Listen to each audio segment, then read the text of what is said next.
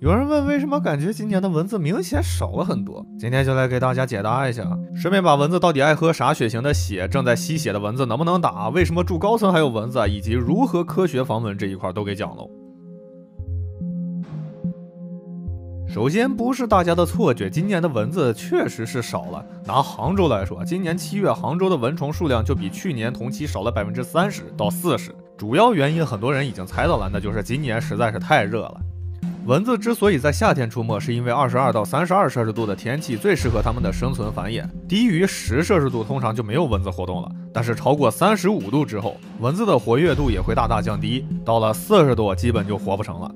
而蚊子需要在水里产卵，当水温超过三十五度，它们的卵、幼虫和蛹在水里就会停止发育，甚至大量死亡。长江、武汉段水位都比历年同期低了两层楼，一是暴晒后的水温很高，另一个户外积水还没聚集呢，都给蒸发掉了，蚊子没地儿产卵，数量自然就少了。不仅是蚊子，蜻蜓、螳螂、蝴蝶这些昆虫也都会受到影响。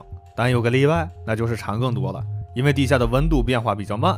蝉的幼虫要达到一定的平均温度才会从地底下钻出来，而今年热得早，它们破土的也早，比以往早了半个月左右。另外还有湿度，低于百分之四十，蚊子活力就很差了。所以说，就算空调房里温度合适，对蚊子来说也比较干燥，不宜长期存活和繁殖。而像地铁、商场、小区以及各地的疾控中心，每年都会开展灭蚊除害活动，蚊子少了也有他们的功劳。在遇到高温天气时，很多蚊子会先找个阴凉的地方栖息着，等之后温度下降、降水变多、气候适宜的时候再出来活动。所以一般是在九月份开始，蚊子数量会有一定反扑。让我看看有谁舔过蚊子包的。不止蚊子，很多吸血昆虫都会一边吸一边排出体液，跟齐天大圣到此一游一样。这主要是为了排出身体多余的水分，浓缩血液中的营养，还能降低蚊子的体温。有时候还会便血啊，就是还没消化的新鲜血液，这样能腾出来空间封装有营养的红细胞。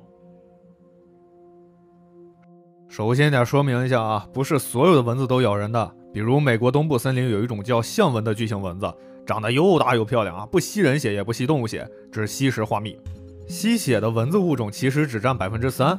经过它们传播的疟疾、登革热、流行性乙型脑膜炎等疾病，让它们稳坐杀人最多的动物第一名。除了吸血，它们也会吸食花蜜、树叶、果汁。只不过对雌蚊子来说，血液可以给它们产卵提供营养，所以才上了必喝榜。之前总有人说蚊子最爱叮 O 型血啊，其实这个说法来自上世纪七十年代的一个实验，很简单粗暴的让一百零二个不同血型的人伸着胳膊看蚊子咋咬。但他忽略了出汗、体温、肤色，甚至是体毛的这些变量的影响。后续虽然有人改进了这个实验，但他目前还不能得出明确结论。一般来说，排出更多二氧化碳、体温过高的人，还有出汗后排出乳酸、尿酸、氨气，这些都会帮助蚊子确定目标。所以，刚运动完的人或者是孕妇，就更容易从人群中脱颖而出。另外，蚊子还会用视觉来寻人，所以黑色、深蓝或红色的衣服也会使你更容易被蚊子发现。哦，对，最新研究表明，夜里玩手机不仅能让你睡不着，也会让蚊子咬人的水平达到傍晚最高峰的水平。所以，你懂的。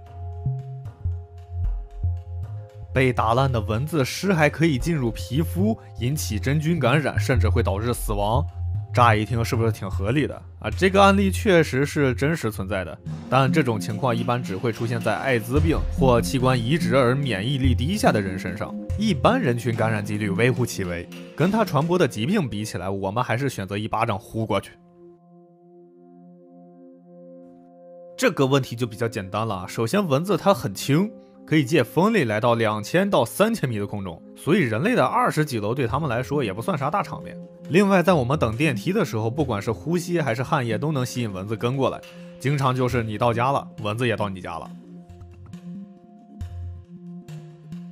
除了纱窗、蚊帐、腿毛这种物理防御，我们经常用的就是蚊香或者是蚊香液，它们多半都是除虫菊酯类杀虫剂，原理是麻痹蚊虫神经，让它们失去叮咬能力。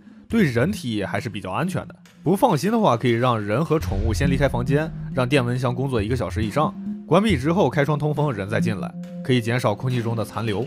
不过有些劣质产品并没有选用低毒高效的除虫菊酯，而是 DDT 与666，并且加工辅料含有醌化物等有害物质，对人体伤害大。所以买的时候注意点区分。再说说现在很火的蚊香液啊，里面起作用的成分是避蚊胺，能通过抑制蚊子的感受器，让蚊子找不着北。驱蚊手环也就是涂了驱蚊剂的手环，但要算上性价比的话，就比较坑了。那些所谓的使用天然植物精油，实际上效果非常有限。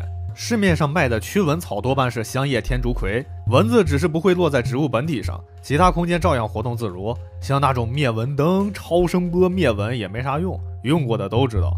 另外还得注意，室内内置的容器最好避免积水，因为你家蚊子很有可能就是花盆、托盆里的积水孵出来的。